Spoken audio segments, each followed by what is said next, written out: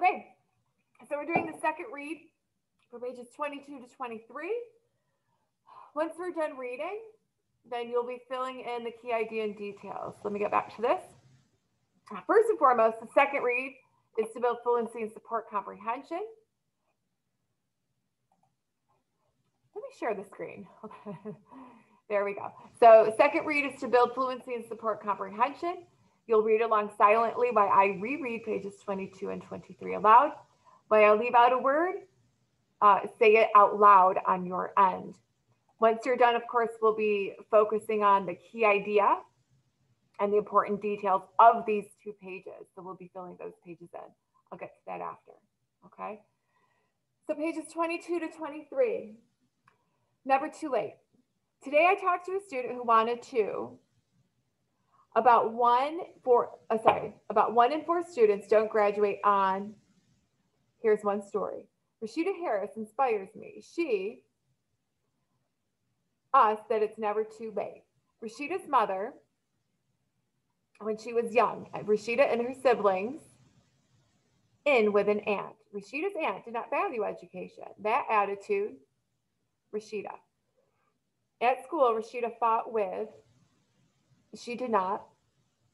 School wasn't that to me, she says.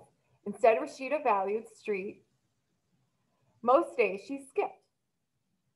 She, with, sorry, let me redo that. She, out with friends. Often they got into, nobody seemed to. At 16, Rashida dropped out. Then she became a teen. She began to about employment. Okay.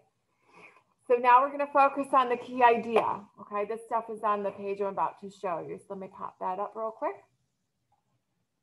Okay, so at the top of page 23, please fill in the key idea for that part of the story, about this part of the blog post. Rashida blankety blank school. You'll have two important ideas. What happened in Rashida's life? Before dropping out, Rashida blank and actually write that sentence out, just like it is on the slide right here for number one before dropping out Rashida blank, and then do the same for number two after dropping out Rashida. I would like complete sentences there. And then do the same, just like I said, after dropping out comma, Rashida blank, fill that sentences in with the punctu fill the sentences in with punctuation. And then the summary, explain what led Rashida to drop out, include the key idea and important details. Um, this work's already done. So if you look at the top of page 23, here's your key idea. When you write your summary, that's your first sentence right here. Then your second sentence is your first detail down here before dropping out. And you have to put that first because that logically makes sense.